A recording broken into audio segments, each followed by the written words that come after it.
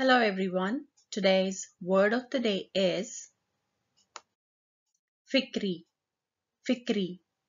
Understand is fikri in Kashmiri. For did you understand in Kashmiri you could say Zetoriye fikri.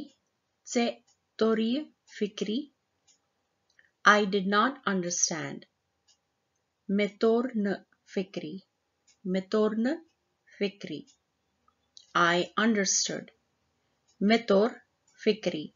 Metor fikri. So fikri can be understand or understood.